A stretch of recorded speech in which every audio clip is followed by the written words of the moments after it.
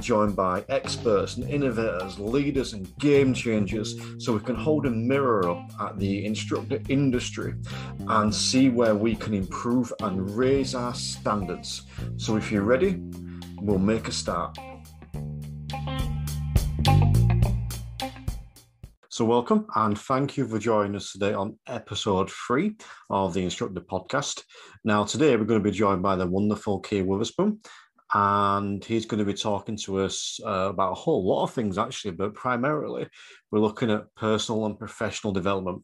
This is another big area that I'm passionate in, so you know my stance on it before I even get into it. So, remember, if you enjoy these episodes, make sure you hit the subscribe button so they drop into your feed every Sunday when they go live. So let's not mess about anymore. Here's me and Keir.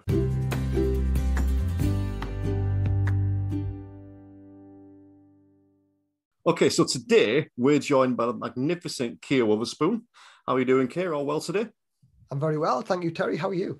I'm good, thank you. And Keir's here to join us and talk about personal and professional development, both within the driver industry, driving industry and outside of that. But before we start, can you tell us a little bit about your background and where you are now and what you're up to now.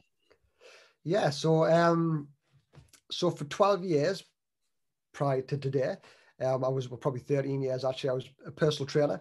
Um, I started off well, started off as a personal trainer back in 2000 and man, when was it? 2012, I think it was. I started off as a personal trainer. Um, prior to that, I was working in a factory, bit of dead end job really wasn't going anywhere. And then I decided I wanted to do something different. So I went to university. So I sold my home, um, quit my job because that's what you do, you know, logical thinking, and went and done a degree at university. Uh, my idea was to become a PE teacher. That was initially what I wanted to do. But then I became a personal trainer because you know that's what you use your degree for, isn't it? For personal training. Um, and yeah, so from there, what I've done is, well, I started off as a personal trainer. I decided to own my own gym.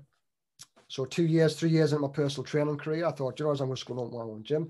This is kind of what I wanted to do since I was a kid, or have my own gym. So I'm going to do that.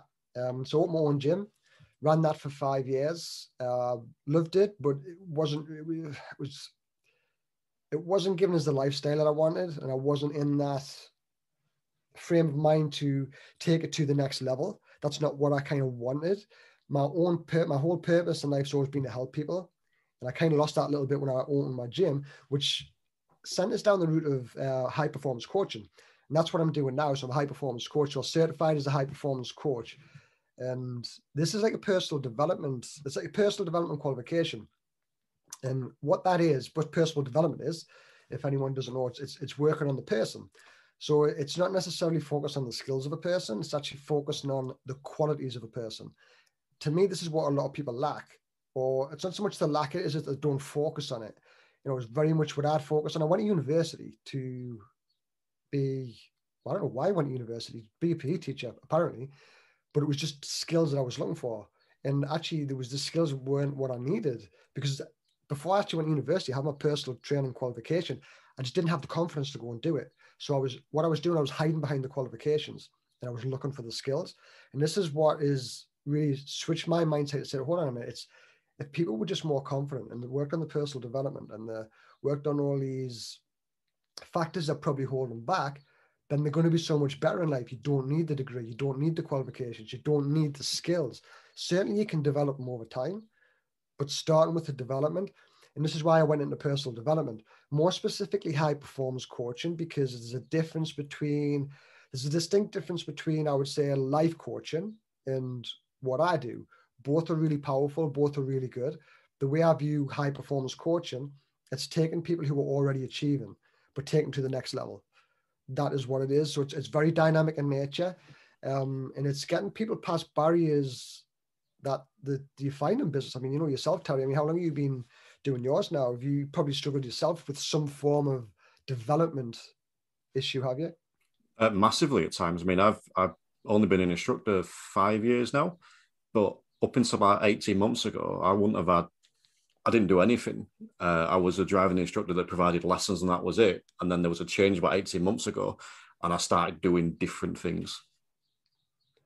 Yeah, it's it's because it's it's so. I mean, one of the things that actually pushed me, I wouldn't say pushed me into it. I've always wanted to do personal development, and I think this came about because of the clients that I had and the clients I was working with. I found out that you know being a fitness instructor or personal trainer, whatever tag you want to give it, wasn't enough because it wasn't the you know everybody wants to lose some weight, but there's more to it than just going into a gym, eating good food and exercising. You know, you've got to change your mindset. You've got to change the way that you think. You've got to change the actions that you take. And this was so important that I need to develop the skills in that area. That's where personal development come into. And then when I closed my gym, I closed my gym for because it was really wasn't given as my life purpose. I was struggling. My family was struggling just for the fact that what was taking me away from everything. I was in a really difficult point in my life and business where we've been pulled apart. Then when lockdown hit, it was a kind of decision, what do we do? And I was just like, you know what, just to get rid of it, let's lose it because then we can work on building our life back up. And then in between that period, which was quite a difficult period, I started working with um, a driving instructor. One of one of my one of my pals is a, is a driving instructor. I started working with him on a uh, on a fitness basis. That was it. It was just working with him on a fitness basis. And then as we kind of got into it, we sort of went away from, I said we didn't go away from fitness, he was still working on it, but we delved right into the the, the performance based stuff for him.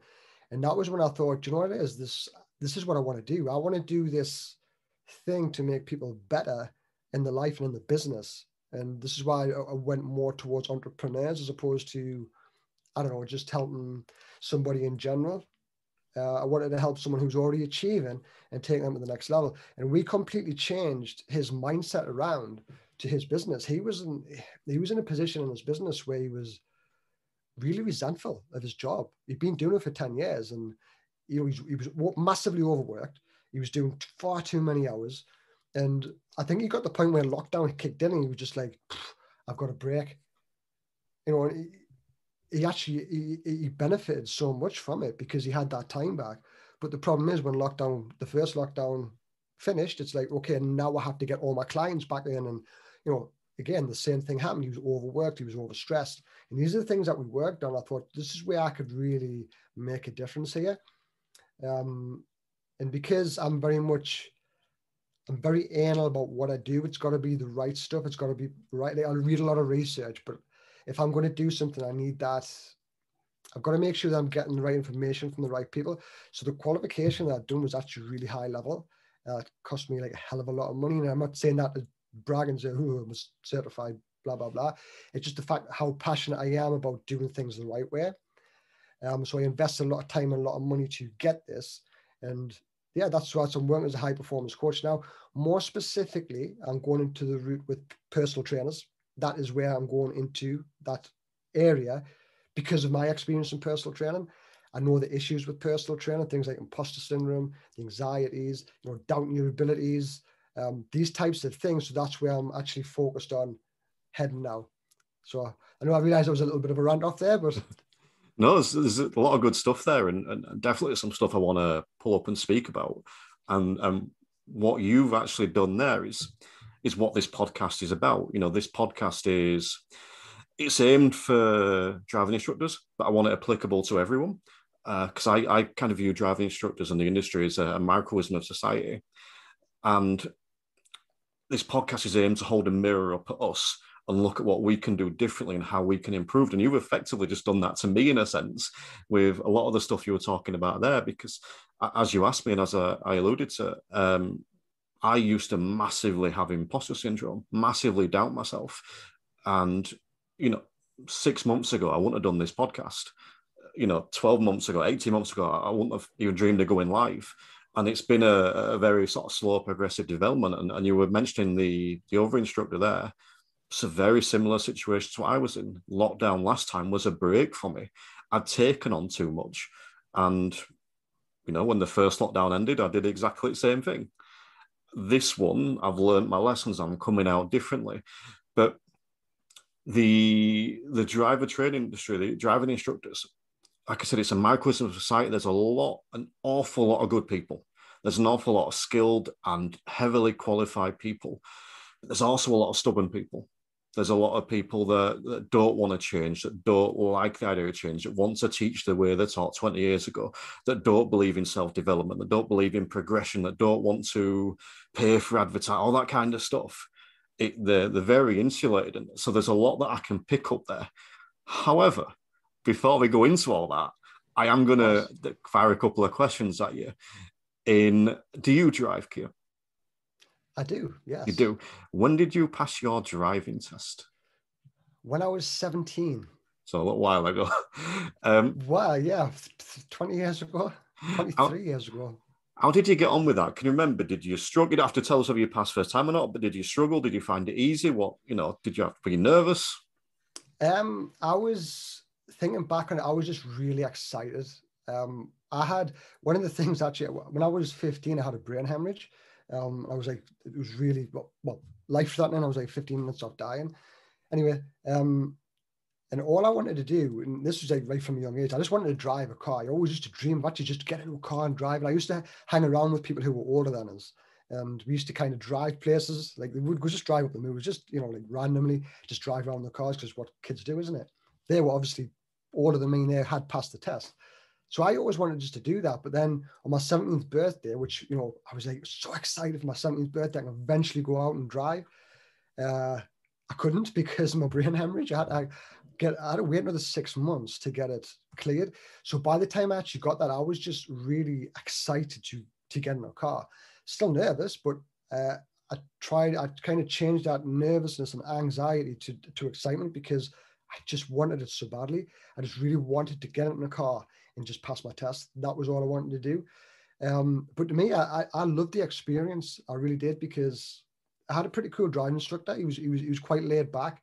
Uh, he was really easy to talk to, uh, which I think I think in any any any job or career or whatever it is that you're doing, if you have that relationship with that person, it's going to go it's going to go a good way, isn't it? I think that's what a lot of people miss in a lot of coaching roles. They're just looking for clients, and actually just build a relationship. You know, if you if you have to decline a client because you don't think you're going to get on together, don't think of the money aspect. Think of that client could get well better service elsewhere, but that other person who comes into you, like I had no issues at all with my driving instructor at all. It was just such a nice guy, and other people had issues with him because they didn't get on with him yeah. in whatever way. We didn't have that. We got through it, and I mean, I, I got my through my test. I failed it the first time, stupid mistake. Um, but the second time, I you know I just flew through it. Uh, so yeah, I mean, for me, it was a really great experience. Good stuff. I mean, the I'm, and I'm asking this question to everyone that comes on from outside of our industry. I'm interested to know your thoughts on on our industry from the outside looking in, and be as honest and, and, and frank as you want with regards to that. How do you mean, like in? For example, you said the, the experience you've got, you learned with uh, an instructor. Obviously, when you were 17, you had a good experience with him, and yeah. you've worked with another instructor who's who's your friend. But as an instructor myself, when I tell a random stranger that I'm a driving instructor, they're always pretty keen to give me their opinion on instructors. You know, I'll get the, oh, you guys, you always park outside my drive. Or, you know, you, you're robbing us from money. You know, we don't need 40 hours, we'll need 20. We can teach them ourselves. Or you'll obviously get the flip side with people being positive as well. And, you know, whatever it might be, either way, I'm, I'm intrigued to know your thoughts on the industry, it, or if you've got any, or if you're very much a, uh, almost a blank canvas on it. Not really. I mean, I, I think I think any role when you're coaching someone one to one, whether that's in the gym or in a car, it's very demanding. It's it's very. Um, I think I don't. It's it can be. I don't want to take. I don't want to go away from your question here, um, but from my, my for me looking in, I think it's a very tough industry. I think it, it depends on the person again, the driving instructor that I had was, you know, he was just he was just really good. I got on really well with him. On the other side of that, I've also seen people who resent the jobs and they get a bad name for themselves and they give the driving industry a bad name. Mm. But I think that happens across all boards of coaching. Some people are born to coach, some people aren't. And I think that's the difference. It's it's not necessarily the industry itself, it's the person. Because at the end of the day, it doesn't matter if even if you work for somebody, you're still the person. You're the one who's getting in the car with that client. You're the one that has to make an impression. You're the one who has to bring that energy. And this is one of the things I was saying to my client, um, the, driving instructor, and you know, he was resenting his job. And it wasn't the fact that he hated his job, he actually really loved it. it. was the fact he was doing all these hours. He was working with clients that drained his energy. And one of the things he says, look, you need to bring energy to every person you have in your car. If you do five hours a week and you can be energized for those five hours, then you're going to be a better instructor. People are going to want to come to you. If you're doing 10 hours to 12 to 16 hours a day and you're drained of energy, you're going to be a miserable get. Get, get. Can we swear in this podcast? Yeah, swear away. I'll, I'll, give it the old explicit rating. Awesome. You be a miserable shit. um, but that was that's the thing. I, I, I, don't. I think I don't think, and people on the outside. You know, I hate when people I would say behind cars and they're beeping like, ah, "Stupid learner driver," blah blah blah. And I think, come on, imagine when you were little and you were in the car and you had to drive. It's a, it's a really stressful job. You're taking somebody on the road, right? You're taking someone on the road, it could be extremely dangerous. Yes, I know there's dual controls and there's all these types of things, but at the end of the day, you are letting someone behind the wheel of that car. There's a lot of responsibility on that person. And I don't think they're given probably the respect that they deserve. From an outsider looking in, they don't get the respect that they deserve. Again, like what you're saying, hey, uh, you, you're charging this and you're charging that. Yeah, because you charge that because of your skills. You're giving those skills. You're getting that person past the test. It's like saying to someone, look, do you want to get past your test in three months or do you want to wait three years? Do you want to wait three years? Go and drive with your mother. All right. If you want to pass in three months, come work with me and I'll get you past in three months. That's the difference. That's what you're paying for. And that's what people on the outside that don't see that. But saying that's the, the whole border cost cross in general. People don't see it. See like personal trainers charging hundred pound an hour, like, oh, I can do that for free. Awesome. Go and do it for free then. It's fine.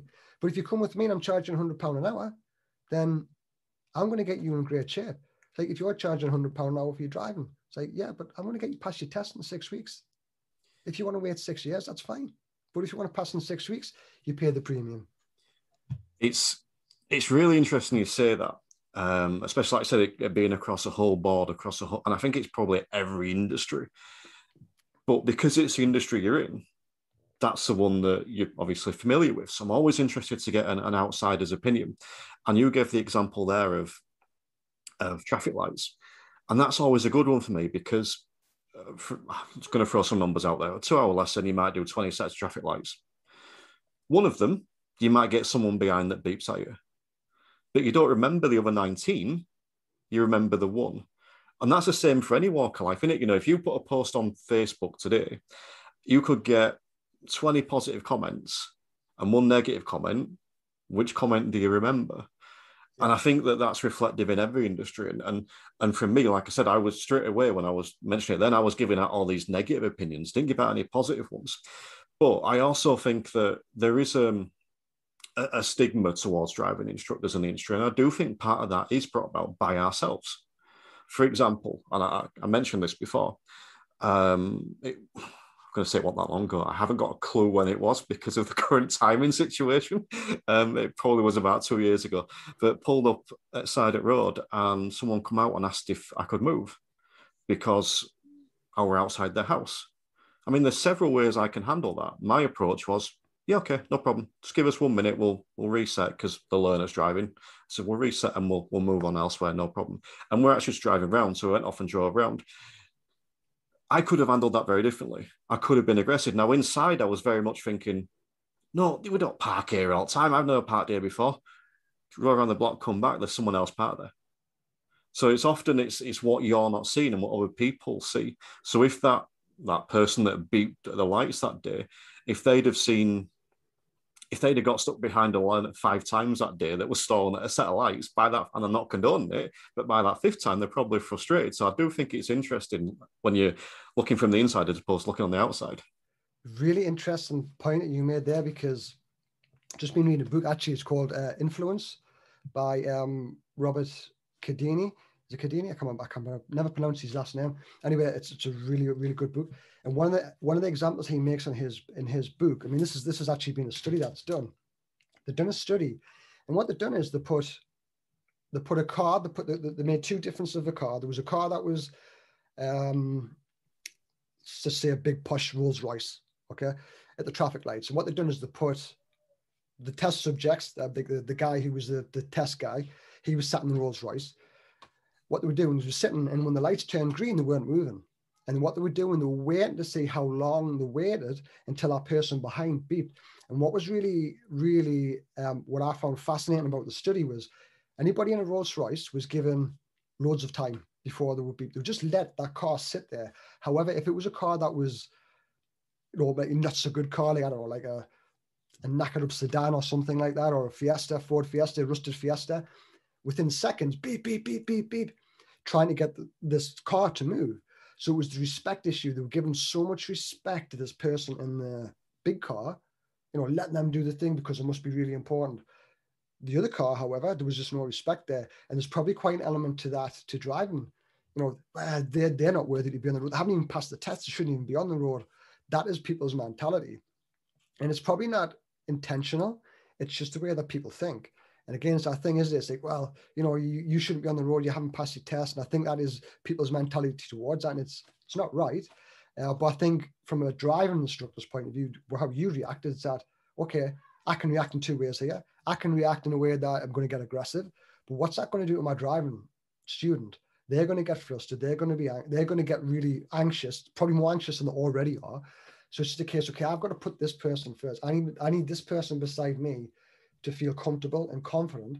So how I react now, that is going to dictate how this person is.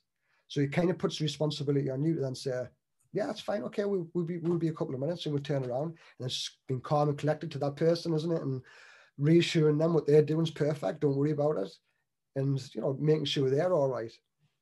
Yeah. And it's interesting you say that as well, because I think that we're heavily, as people, we're heavily influenced by what we see.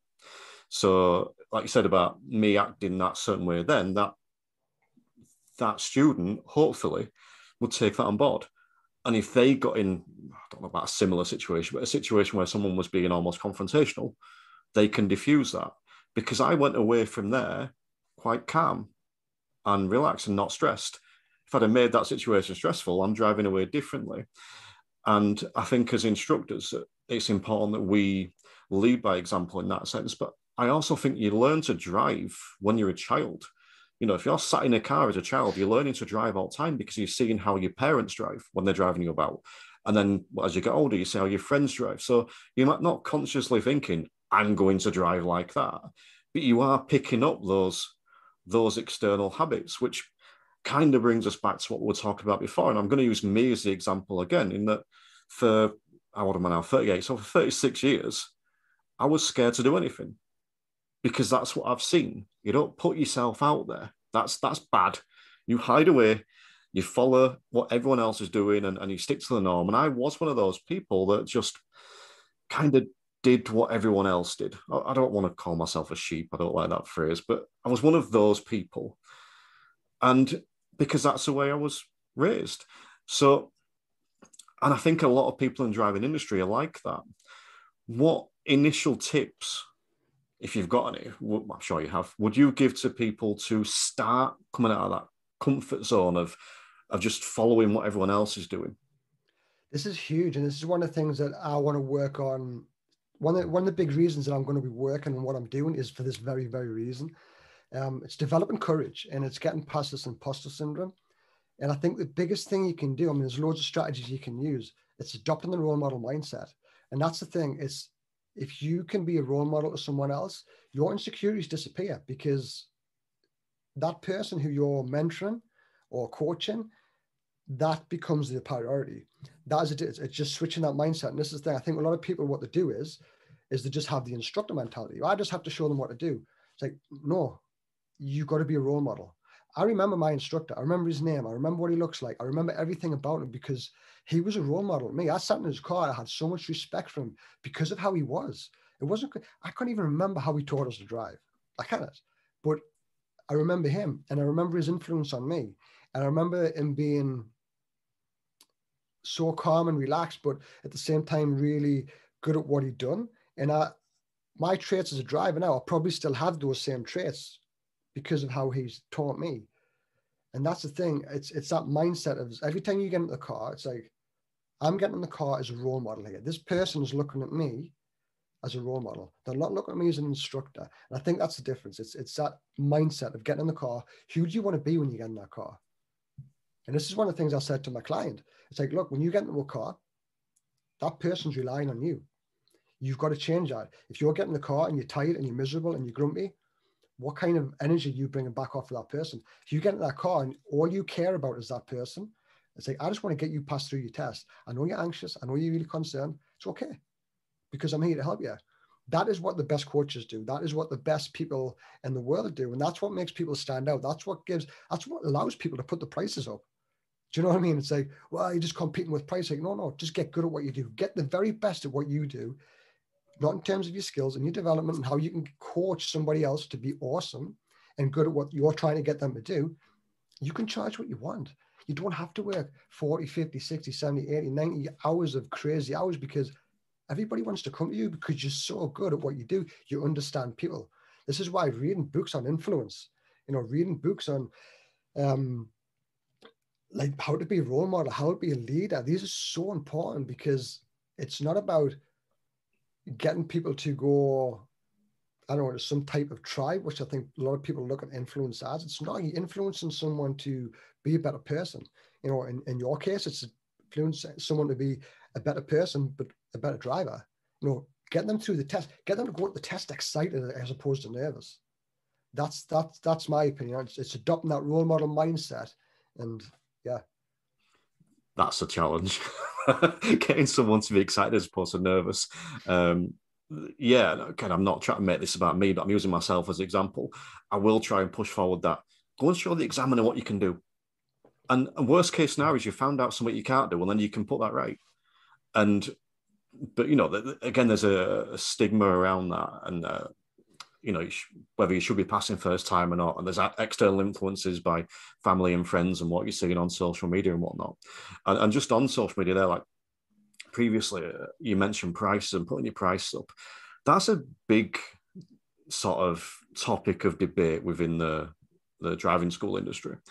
In i'm in a lot of facebook groups for instructors and you'll see regularly almost daily someone pop up and say should we put his prices up? Or there'll be something about price and the comments go from one extreme to the other. I am a big believer that prices should be higher than they are as an average. There are some, and I'm not going to quote figures actually because I don't want to pinpoint anyone, but there are some ridiculously low prices kicking about where you would have to work an excessive number of hours to to make a living. And there are some high priced about. I'm towards the top end. But if what advice would you give to someone? Because I think a lot of the problem with putting price up is people scared that they're going to lose customers. And I think it's a fear, and that's where the resistance come from. So if someone is scared they're going to lose customers, they're scared to, to charge for what they're worth, what advice would you give to those people to overcome that fear? The demographics. That's what you know, what kind of people are you talking? That's the thing. I think and and again, this is just from you know talking to my my friend and who's a driving instructor. Say, who are you trying to target? This as well, just anyone who wants to pass the test. Why? Why don't you get more specific with who you want to target? Because then you can create a waiting list. Then you can create demand. You know, if you work, for, I don't know, for example, maybe you um, have a demographics who's people in the 30s or people in the 20s. I, I don't know what it is specifically. I don't know the, the, the, the details of the driving instructor industry itself, but why does it have to be so broad? Can can it be can it be that can it be condensed? Can it be really identified? Can you really niche down? Because you can do this in any industry. Why can't that be done in the driving industry? Because what i see and this is my perception looking from the outside is that there's loads of cars on the road and they're just competing on price. It's like you look at a shop it's like a bakers all the bakers they're competing on price. Why does that one bakers stand out? Because they have something different. They have something unique why does that personal trainer stand out? Because they have something different, they have something unique that they're offering. Maybe they just train women in strength training. Maybe they train guys over 50s to lose weight. That is why they stand out because the the focus on a specific niche, the focus the focus on a specific type of person, specific psychographics. You know, imagine if you had, I don't know, just just off the top of my head here, like you really you your niche was people who were overly anxious yeah, you work on the development of someone who's overly anxious. You work on those skills and they understand how to get past anxiety and the skills that you can use. You can then coach that person, not just to drive, but how to how to drive without feeling anxious. You become known for that. So yes, you're a driving instructor, but you know what? You're a freaking awesome driving instructor because you have something different that you're offering. that is it's it's that's the thing. I think when you compete on price, people just just panic and they start trying to well he's put his price up, I'm gonna have to put mine up, and then you get in this massive sort of fight and you become overwhelmed, you become anxious. Like just stay in your own lane. Like this is who I do. These are the people who I work with. I'm just going to get really good at doing that. And when I get good at doing that, then everybody's going to come to me who has those qualities that I want to work with. You know, why shouldn't you be able to do that? If you want to work with a certain demographics, why not? Do it. Maybe you just want to work with women. Maybe you just want to work with guys. Maybe you want to work with old dudes who never passed the test and want to do it. There's there's there's a market out there for everybody, isn't there? That that's really really um, insightful and useful, I think, because that is an area, in in my belief, largely again lacking in the, this industry. People will, I, I think, generally target school leavers or anyone. And the way they do that, as you mentioned, is, is battling price. So when you see it on the high street, you see it on sides of cars as well you know, 10 lessons or 10 hours, 100 pounds or starter off at 20. And I've done all that. You know, I did all that before I found my niche. And I found my niche accidentally. And my niche is exactly what you said. It's anxious drivers. It's people that are worried, not necessarily worried about driving, but worried about getting in a car with someone. And one thing always stands out to me. I'm going to tell this story actually. Um, and I had a student and she come for her first lesson. It was a 12 lesson. She seemed quite nervous, but again, a lot of people are. She was very pleasant, blah, blah, blah, blah, blah. We did the lesson. She gets out and she's walking off. And as she's walking away, she stops and turns around and starts going back to the car. Immediately, I'm like, oh no, what have I done wrong? Anyway, she knocks on the window and, and she says, Can I get in? So she gets in and she says, I wanted to say thank you. She said, I didn't want a male driving instructor. She picked me. I used to work for a national school. She picked me off this this registered because she saw my name and assumed that the name Terry was female. Um, so, you know, whatever. But, but she came in and she was really nervous. She just wanted to say thank you for how at ease I'd put her. And that was one of the biggest wake up calls I ever had because I'd never, I hadn't done it intentionally. It was just me being me. And I suddenly realized I've got 17 year old girls getting in a car with me that I'm then driving off to somewhere where they don't know. It's like. Mm. that's got to be scary for some people. So I, I don't target that, but that's how I put myself across. And that's one of the things that started making me doing videos because I realized that I am quite a calming person. I can revolt people at times. I'm sure there's quite a few driving instructors throwing at me right now, but I'm quite a calming people for students. I've had no problem with prices. I've had no problem with customers. Generally, my students are 25 to 30 and they're females. That's who come to me. That doesn't rule everyone out. I get blokes coming to me. I get um, different genders coming to me. I get different ages. I get 17 year olds. the oldest person I've taught was 60. So I get a wide variety, but that core is there. And that's because I accidentally started marketing towards them. Yeah. And I don't think I'd have ever done it intentionally because I'd have been too scared. But, and that's where the, again, the fear comes in. It's the fear of if I market towards 25 to 30 year old females, I'm not going to get anyone. But that's that's not true, and that's the same for every industry. I'm sure in your industry you market towards a niche, but you mm. get a lot of different people. It is, and it's just like who do you like? Like if you've been in the industry, say a few years, you've worked with loads of different people, right? I mean, if you just get in the industry, any industry, I wouldn't say niche down straight away. Work with a whole host of people. Same when you get into personal training. Look, work with as many people as you can for a couple of years and then just say which people do you really like working with? Like for me personally from a personal trainer perspective i love working with women. And i love working with women because i, just, I got on really well with them but it was amazing getting like a woman from quite nervous and uh, unconfident to like deadlifting ridiculous weights and being super confident in themselves. It was just like to me that was just transformational. I, I didn't give it obviously was, there's a big factor about body composition and things like this but the confidence element to it was absolutely so powerful. But because I focused on that, I was getting guys for the same thing. I didn't attract big dudes. No one's going to come to me and say, "Can you get me strong?" And he's like ten foot tall and six foot wide because he's the opposite of what I look like. But what I was getting was people similar to me who maybe is a little bit nervous, a little bit unconfident, like guys. Um, they would they would feel comfortable coming to me because I was targeting women and promoting the fact you know it's developing confidence and you know making yourself like feel good and these types of things. The guys were like, yeah, I can get on board with that. So it's not being afraid to get too niche because if you are niche, what you do is you will attract other similar people. Yes, it might not be a female who's 25 year old and has just started university or whatever it is, but it's like the psychographics. It doesn't have to be demographics. It's the psychographics. What kind of things are these people worried about? Anxiety. Like take for me example. I wasn't anxious about driving. I was excited. Why couldn't you talk? Why couldn't somebody target people like me? 17 year old kid who just wants to get behind the wheel of a car, wants to pass his test as fast as he can, right? What's the parents going to do? You know, parents with a little bit of money. My kid wants to pass his test in six weeks, right? I can do that. That is your niche. I don't know how you'd work that, but that's my niche. I get people pass the test in six weeks who are super focused, they're not anxious, they're just excited to get done. You just created that niche. You have because you're going to attract. You're not going to attract the 25 year old females who's nervous.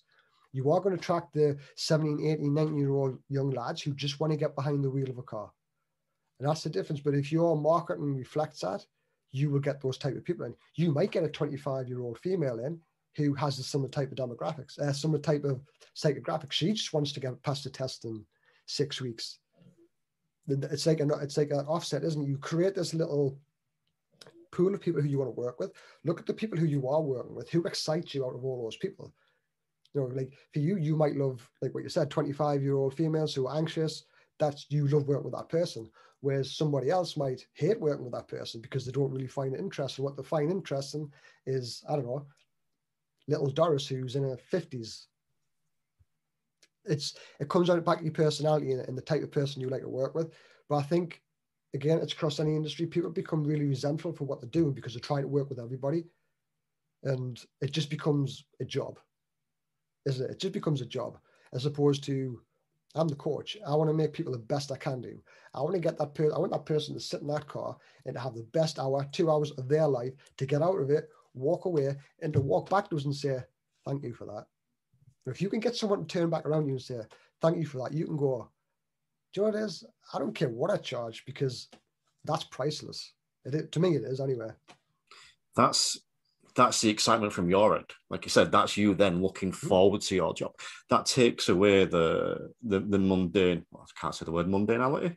The mundaneness of, of the job, and you actually get out of bed and look forward to going to work. And that don't mean that every lesson or every PT session or every training session is going to be amazing, but you can go out attempting to make it amazing. You can always develop that. I do just want to touch back on what you were saying though about the, the marketing aspect, because again, the thing with instructors, a lot of people come to instructing from a, a whole wide variety of, of backgrounds. So uh, there's a, almost a lack of knowledge there in knowing how to promote yourself, how to go for a target audience. Because the one thing you can't do is you can't go on Facebook and put, I want to work with 17 year old boys. That's, that's not going to work to get your target audience in. You have to be a bit more subtle than that. So, would you have any suggestions there or tips for, and again, I'm sure you pull from your own industry with this, but the way mm. you would market to, to your niche? psychographics. It doesn't, again, I think a lot of people get focused on demographics, like 25 year old female who has this, this, and this, six kids and all that, blah, blah, blah. Look at psychographics. What's that person struggling with? Like, what is the, what is that person's biggest fear? What is that person, what is the biggest pain? Again, two examples. What was my biggest pain? My biggest pain was having to sit and flip and learn how to drive for six months and I wanted to be done in six weeks. That was my biggest pain. Who can solve me that? Who can solve that problem for me? the driving instructor that I got solved that problem for me because he made sure I passed my test in a specific length of time. When I failed my test, he didn't wait another six months. He pushed it and pushed it and pushed it. And I got my test a couple of weeks later, so I passed. He went out of his way to do that. So that was the difference because he knew what my pain was. Again, somebody who is nervous, you, you, you focus on the anxiety, you focus on um, the struggles that they're facing. So you focus have to you'd have to focus more. You have to go into more depths of what that person's struggling with. But it's the psychographics. What's that person's biggest pain? What are they struggling with? Then solve that problem. It's what it is, isn't it? A lot of people get really focused. It's like, what does an entrepreneur do? An entrepreneur solves problems. An entrepreneur solves problems. Why did you get into business? You get into business to solve the problem.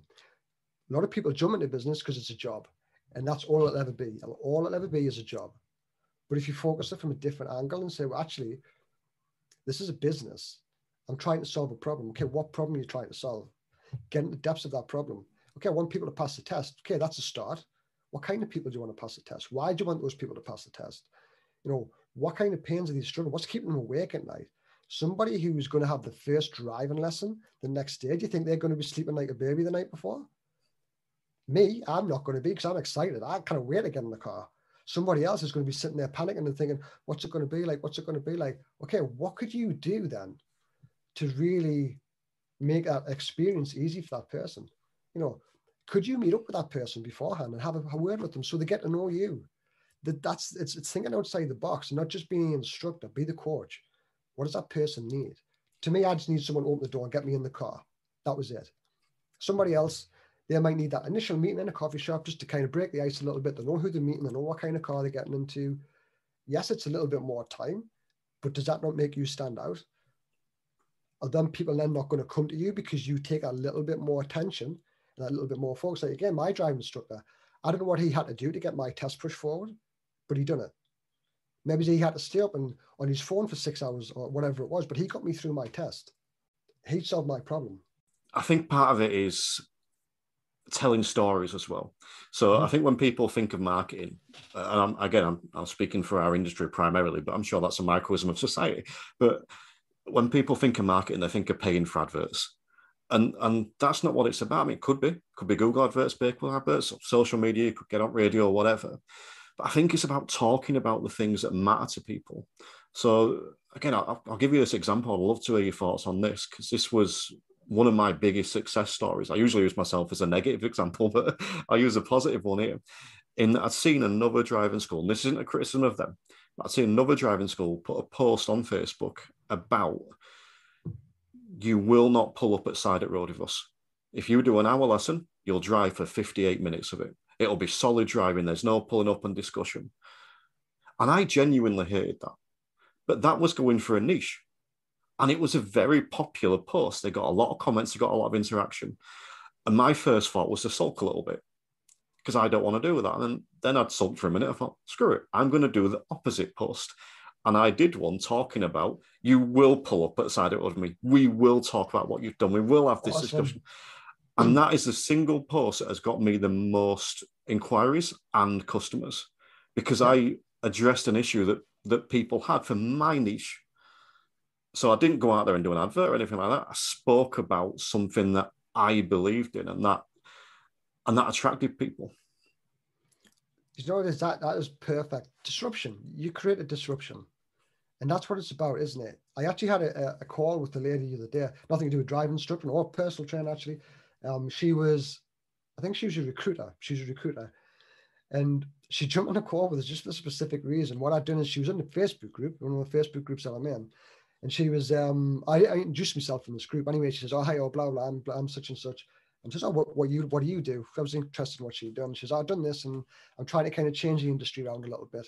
I was like, all right. So I just commented, so you're trying to disrupt your industry. And she just sent us one back saying, what do you mean? She says, well, you want to be a disruptor? Because that's a good thing, right? So anyway, we jumped on a call and she was like, I'm really interested. What do you, what do you mean by this disruption? I said, look, what do you want to do in the industry? She says, well, it's getting done like this, right? She says, and I don't agree with it. She says, right, then disrupt it. What can you do differently? Well, my business model is different. Awesome. Then promote that. Why is your business model different? Because I do it this way, because they do it that way, and it, it doesn't work, and this happens, and these are the issues that they have. So I do it this way, and I know that it works. Right, then promote that. But what else can you promote? What else makes it different? And she was like, think of it as my personality. She said, I'm not like all these other recruiters with the pointy with the pointy shoes and the straight trousers. She says, I just say it how it is. Use that. Like that's what disruption is. It's not like being an a-hole and you know like slagging everybody off. It's like, no, no, I see how things are getting done. I don't agree with that. So I'm going to do it my way. That's disruption because then what you do is you create a void then. And that's a good thing because what you'll do is you'll have your followers and they'll have their followers. Yeah, it's not about kind of going to do battle in the middle of a field. It's just saying, this is the way I do it. I don't agree with that way. And that's cool if you want to do that because some people do do that. That's fine. I do it this way because of this reason. And then you can tell the people who you want to work with, this is why I do it this way.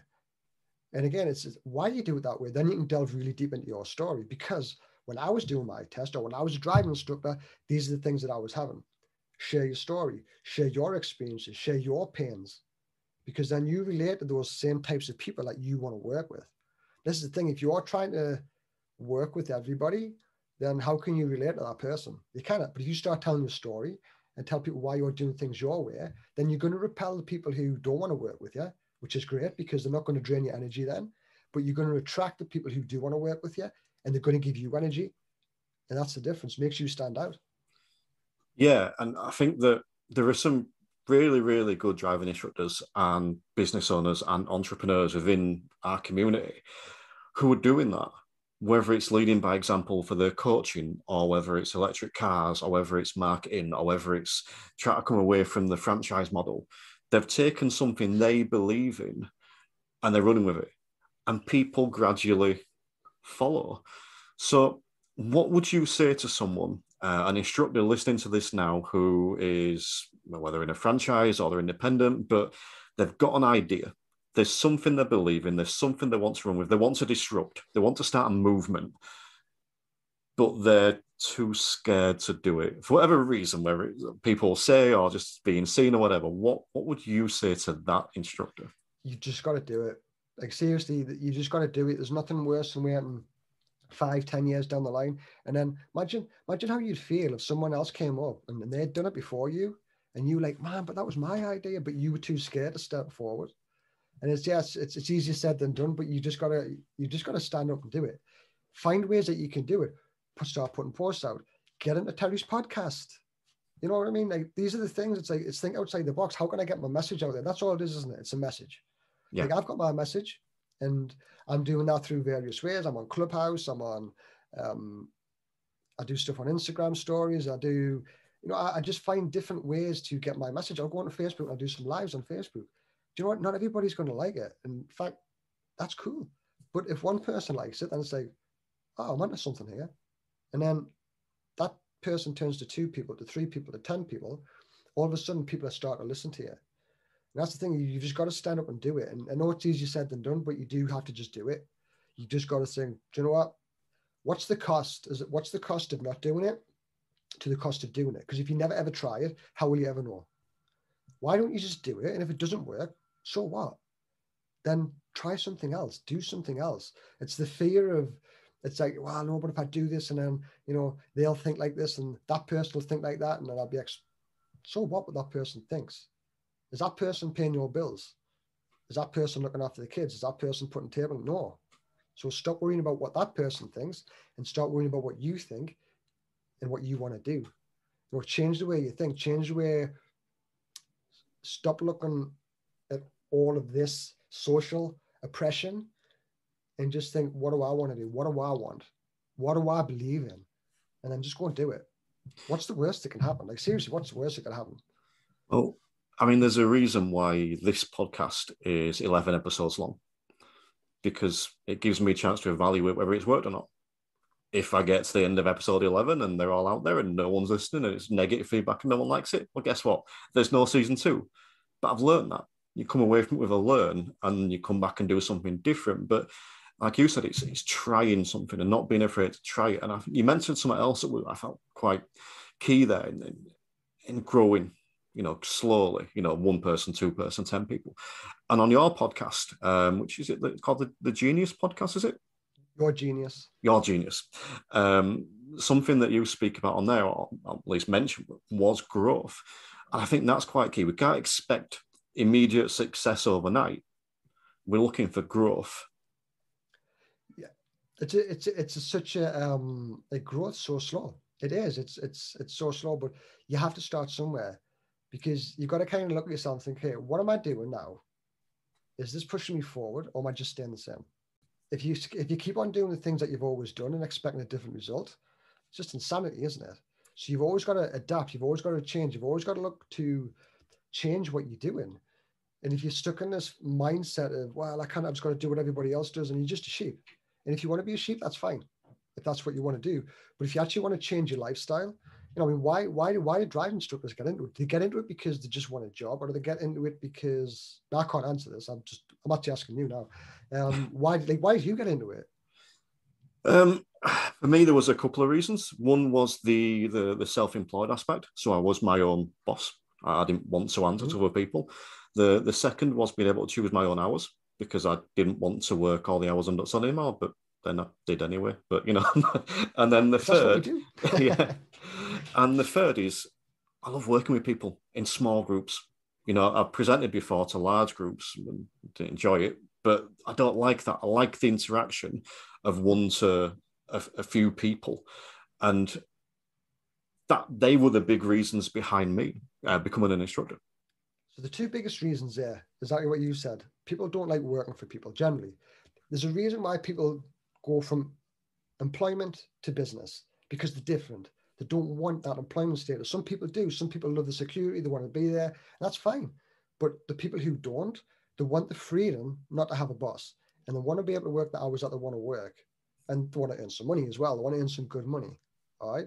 But if you're just following everybody else and doing what they're doing, you're essentially just still in the job, aren't you? You've just created yourself a job and you're just following everybody else.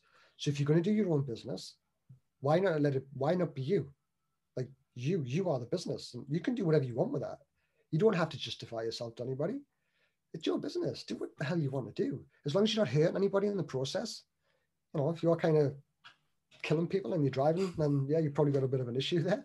But if you're getting people through the test and then people are coming back, or certainly the friends are coming back to you, and you're actually doing a really good job, you enjoy what you're doing, that's what it's about, isn't it? So Definitely. do you want to stay the same and never grow?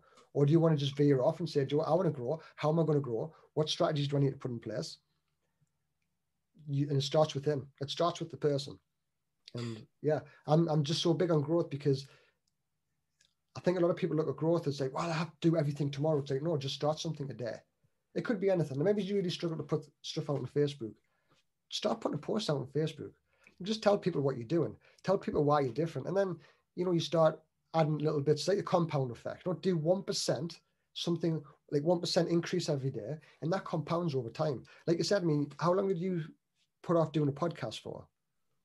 Um, well, so it's not released at the moment we're recording. It's not released, uh, and I've been talking about it for about a week. Yeah. And you, how many episodes have you done?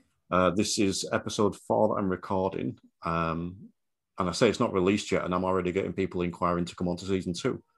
Exactly. So it's compounding, isn't it? Imagine if you just still, imagine if you were still sitting there now going, well, I don't know what it'll be like. I don't know. Maybe it'll be crap. Maybe there's nobody listen to it. It's like, maybe they won't. But so what? At least you can kind of go, well, that didn't work. What can I try now? We'll try something else.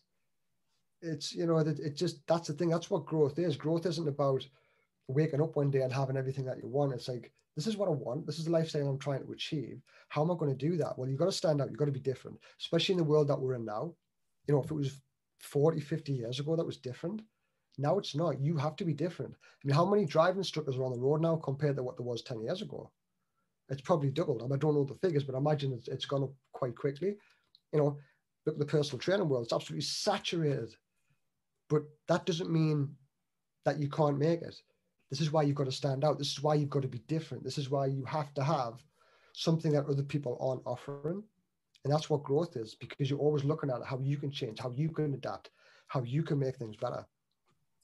It's again, it's interesting the comment you made there about the, the growth of driving instructors and the number of driving instructors. At the minute, there's about half a million people in backlog for driving tests. So the demand for instructors is massively outweighing supply. Now, this has created, in my opinion, this has created two situations. The first one being that there's an opportunity for people to change. Now is that perfect opportunity because we're not going to be short on customers. No one is going to be short on customers for a year. It's it's virtually impossible for that to be the case right now. Um, so this is an opportunity for you to experiment. It's an opportunity to right. Well, let's put my price up by a pound an hour, five pound an hour, whatever. Let's try this different technique of coaching. Let's try this bit of promotion, whatever um, it's an opportunity to experiment for that. But the the second thing, there's more and more people becoming driving instructors because that demand is high. In 18 months, that's going to swap round.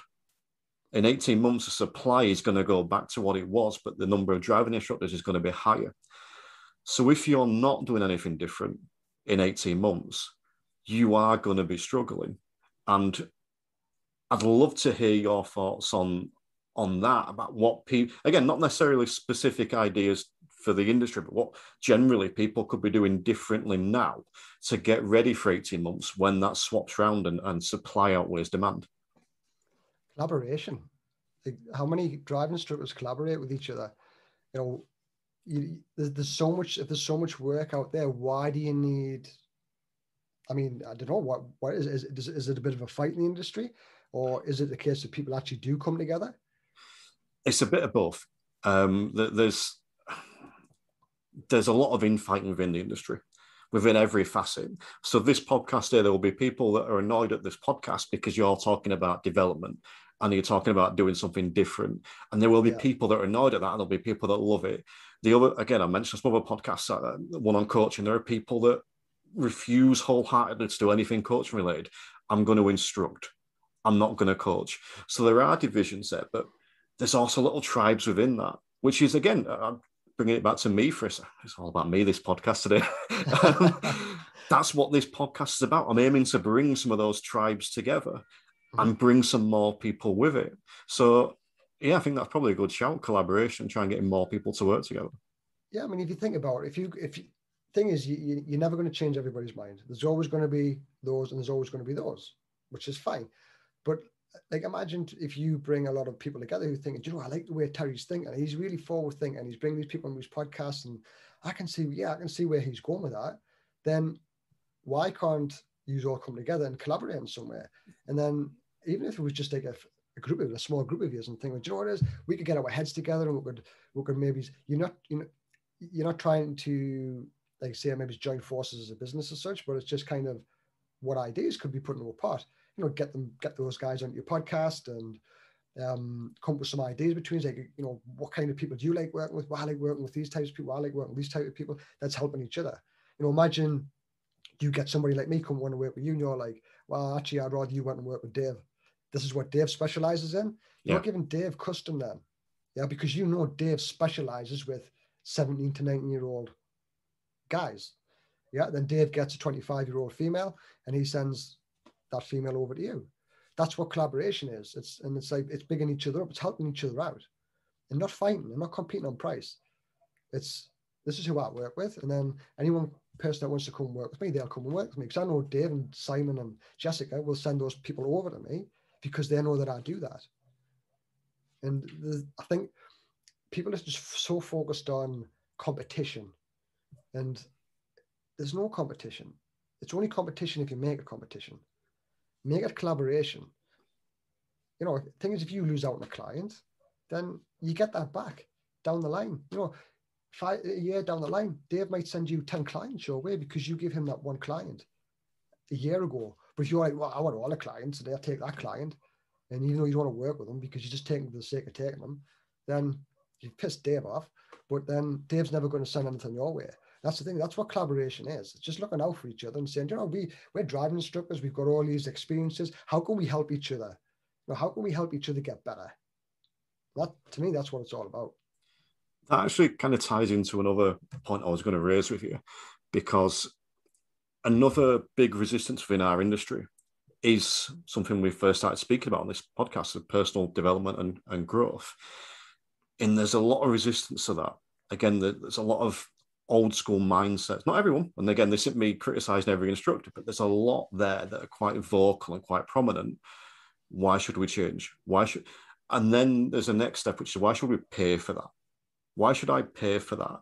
And I think this is a good question to raise you because, as you said, you're you are a high performance coach. People come to you and pay you for coaching. Now, I know you said you specialize in uh, personal trainers, I believe you said, but I'm mm-hmm. fairly confident you would happily take inquiries from anyone listening now if anyone wanted to come and work with you. But there'll be a lot of people Absolutely. that will and do take the approach why should I pay for this? How would you respond to that question? I would switch the question and say, why should anyone pay for you to drive, drive instruct? Can you answer that? Could that driver, could that person ask then? Well, because I'm, I know that I can get that person through the test better than what anybody else can. Awesome. Well, I know that I can make you the best person that you possibly can be. That's the difference. Like people don't look at the development. They never do. They're just always upskilling. Well, I need to get better at doing this. I need to get better at doing that. That's fine. Are you developing? Are you a high performer? Are you actually performing at your best level? Do you have the income that you want? Do you have the hours? Are you working? Are you working too many hours? If you're working too many hours, you're undercharging then you need to work on your development. That has nothing to do with the skills that you're going to require. You need to work on your development because when you're too scared to put your prices up, you're too scared to actually venture out of your comfort zone and be different. Yeah, you need to develop the courage, you need to develop your confidence. Maybe there's some imposter syndrome there. And again, is um, have you heard? Have you ever heard of Dan Peña? It rings Dan a Peña. bell, but I don't think I've the, the fifty million dollar man. Yeah, the fifty. I've watched a few videos on him, and I watched this video, and he was just honestly, he was, he was beetroot red. He was just like personal development's fake, and Napoleon Hill. There Just it was a massive, um, like Napoleon Hill. I read his book Think and Grow Rich. Yeah No, it's it's one of the it's one of the best personal development books out there because it was written in like 1938 or something. It was well before its time. Um, and Andrew Carnegie was a Scotch um, steel magnate, and he he basically gave his secrets away. And he I mean he interviewed people like Henry Ford and Thomas Edison. There was loads of interviews done on this thing, and it all came down to personal development. And Dan Peña was like, ah, it's a massive fake, and it's like blah blah blah. And he, he's actually going bright red on this video. He was just so angry about personal development. And I was kind of sitting there and thinking, Dan Peña is one of these people who probably doesn't need personal development because he's just has that natural ability to be resilient, tenacious, and just to get what he wants. Some people are like that. You know, some people are naturally like that. 99% of people aren't. Like I'm not the more I'm not I've got to work on it. Like I have to work on courage. I've got to work on tenacity. I've got to work on getting outside my comfort zone. It doesn't come natural to me. It doesn't come natural to most people. We're staying our comfort zones. And that's where development comes in. So if anyone who says that development is not worth it or it's not, they don't value it, then I'd question them to look at where they're at and say, do you have the lifestyle you want now? Do you have everything in your life that you want? If you can say that, yes, awesome. You don't need development. But if there's anything in your life that you think I need work on, you need development work. And I would say 99% of people need development work. It's just admitting that and being open to and say, well, how could I develop? Like, how could I get better? Productivity, that's development. Be more courageous, that's development. Working on your purpose. You know, what's your purpose? Do you have that vision? Do you know what your vision is? Do you know what your purpose is in life? Like, this is coming from me who had no purpose. I, I ran a business for five years and I had no purpose. My purpose was completely skewed. But guess what happened when I changed that? My life changed. When I start working towards my purpose, I start developing, you know, what am I actually working for? Why am I doing this? That's when things change. Guess what? That's development. You know, I think a lot of people miss that. They're thinking, oh, just someone's going to delve into my brain and tell me all the bad things that I've done in my life and, you know, go back to childhood memories and things. And yes, that's that's more therapy. And guess what? People need that. But when we talk about personal development, personal development's different. Personal development's like, okay, I want to take you where you're at and want to take you here. Like if you want to move up to the next level, you could be the most successful entrepreneur in the world. But guess what? If you work on your development, you're going to go up another level. And that's the thing. It's do you want to stay where you're at or do you want to move up? If you want to move up and you have to work on your development. And to me, that's that's that's where it lies. I think again you've hit the nail on the head there. Um, 18 months, two years ago, I was very, very stubborn, ignorant, naive towards personal development. Uh, and again, like I said, that comes from my background, from family, from the friends that I surround myself in, from the, the environment I've been in at workplace, and from the environment I was in work at the time. I've massively changed my circle. I call it my little spider web now, and I'm in the middle. I've got all these awesome people coming off it that I surround myself with. But it took a lot of personal development to get me there. And just to get to a point where I can record a podcast or when I can have the confidence to actually say to someone who I consider quite impressive, such as yourself, will you come and speak on my podcast, please? Like I say, without that personal development two years ago, that doesn't happen. So I think you really hit the nail on the head there. Two years ago, I wasn't happy. I probably would have told people I was you know, but I wasn't. I think if you can look at yourself and genuinely say, yeah, this is me, I'm happy and there's brilliant, uh, you know, and, uh, awesome. If you are happy where you are, then that's phenomenal. That's where you should be. But if you're not, that's where you need to look at, at personal development. So yeah, I think you've hit the nail on the head there. Yeah, um, it's like you've you do lives and you do your podcast and things, but how does that? How do you feel at the end of it? Like when you've done a podcast, how do you feel at the end of it? I'm buzzing it's it's yeah. genuinely the best feeling, and I think that comes from two things. I think one is that I've done something that I, I wouldn't have had the confidence to do, so there's a sense of pride there. But also, I feel like I'm, I'm well, I'm enjoying something. I think that's a big part of it as well, which again, I wouldn't have had the confidence to do. Yeah, exactly. So imagine if you'd never taken that step. Imagine if you were still sitting there going, "Oh man, I just feel so I, I haven't got the confidence to do it. And you just thought, you know what, I'm just going to do it. I'm just literally going to pull my phone up and I'm just going to press go live. It's liberating, isn't it? And that's the yeah. thing. It's that doing those things that make you uncomfortable. Like sometimes people need a push to do that. Like it's easy to say, yeah, just press live on you. Maybe you need some more coaching or whatever it is around that or some encouragement to do it. But then once you've done that and you get past that kind of stumbling block, you start gaining confidence you don't become super confident. You just think, huh, uh, that wasn't so bad. I didn't die. So then you do it again, and then you do it again, and you develop your confidence. And that's what development is. Like that is what development is. It's it's doing these things that's progressing you. It's it's giving you personal growth. And that's the thing is, you know, again, I've asked that person, do you work on your personal growth? As you don't even have to look at it as personal development. I think the term like self care and personal development, people look at it and think, oh, it's why I do personal performance I just say it's personal performance. So yes, it's personal development. I say personal performance because I want you to perform at a higher level. Like I want you to go on Facebook and do lives because I know it's going to be better for your business. I want you to do a podcast because I know that it's going to be better for your business. I want you to be different and stand out, get your message out there because when you do that, it's going to be better for your business and it's going to be better for your life. That's the thing. It's like it's performance. You don't want to think of it as development, think of it as performance.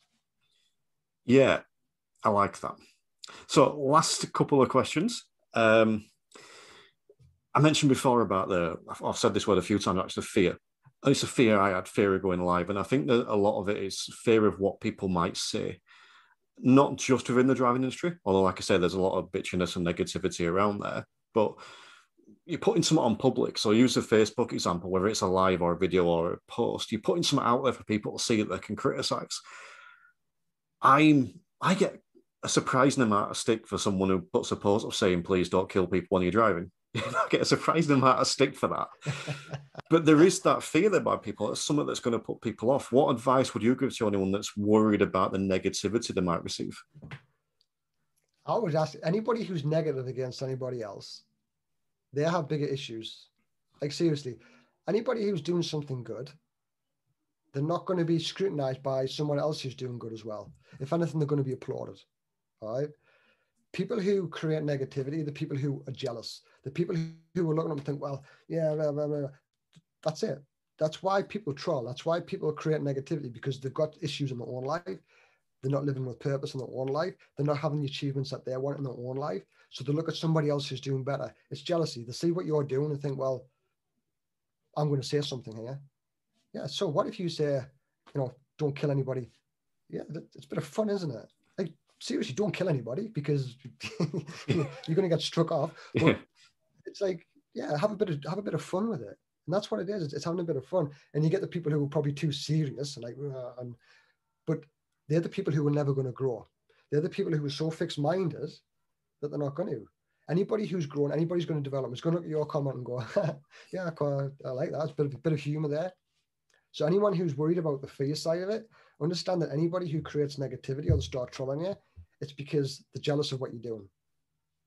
Yeah, nobody who anybody who's trying to better themselves are never going to be scrutinized by anybody who's above them. And I think that's one of our biggest fears. We think, well, that person's up there and they're going to see what I'm doing and they're going to think I'm a loser. Do you know what it is? They're not. What they're going to do is they're going to applaud you and say, yeah, okay, it wasn't 100% correct, but do you know what it is? I can see what you're doing. That's awesome. Keep on going because I know how hard it is down there. Yeah, it's the people down here who troll and who create the negativity. I think it's just remembering that. Yeah, I would agree with that. I've agreed with a lot of what you've said today.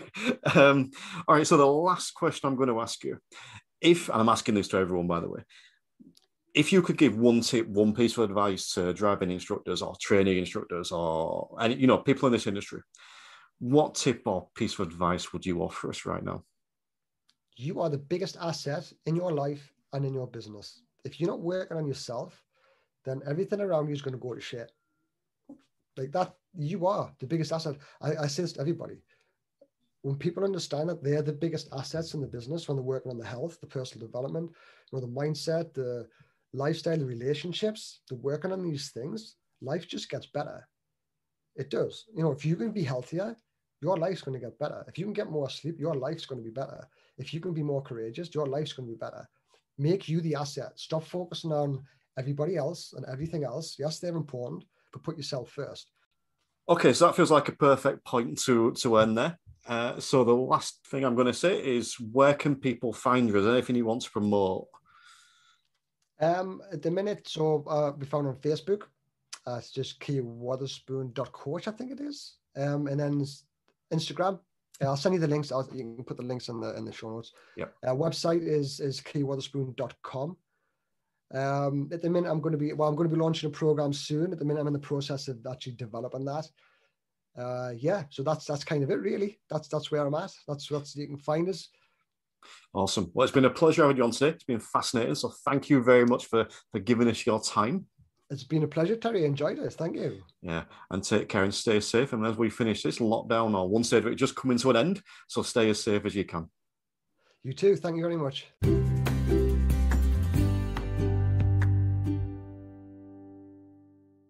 So big thank you to Keir for, for joining me. I thought the big thing I'm taking away from this episode is actually the, the, the passion and the enthusiasm that Keir's got for development, not just other people's, not just helping other people's, but people's, but actually for himself as well. And I just found that when you hear someone talk about it like that and, and talk about overcoming your own fears and, and overcoming the the concerns you've got and, and, and actually looking to to build yourself and, and become a better you.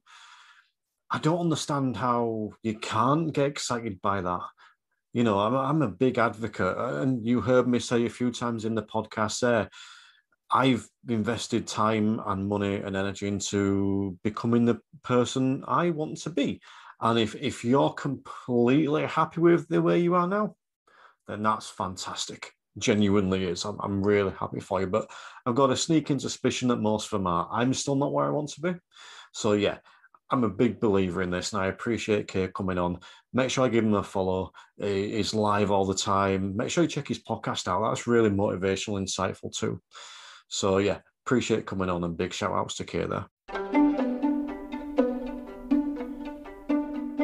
So thank you for listening today. If you've enjoyed this podcast, make sure you click subscribe wherever you're listening so that the next one will drop straight into your podcast feed. If you want to get in touch with the show, head over to tcdrive.co.uk. You can get in touch with me by any method over there. And remember, let's just keep raising standards and stay safe.